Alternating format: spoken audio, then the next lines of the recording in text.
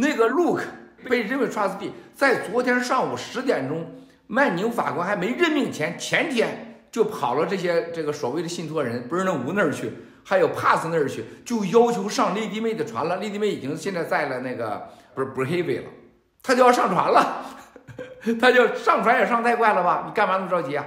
是吧？这是疯狂的。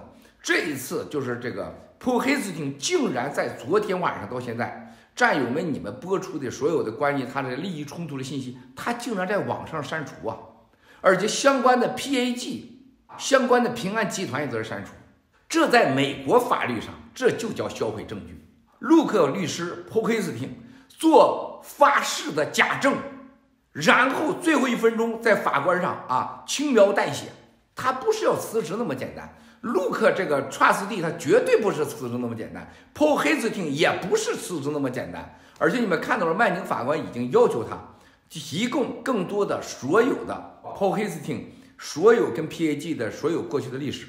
大家记住啊，大家没有看明白这个问题。昨天早上十点是最后一分钟，陆克给曼宁法官打了个这个轻描淡写的冷枪，就是我不住这儿，哎呀。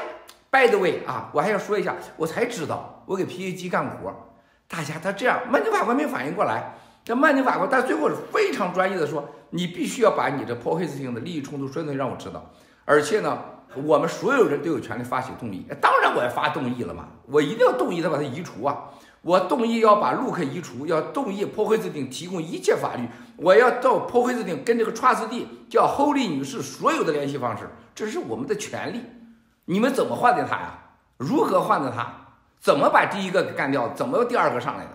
啊，这是我们的权利啊！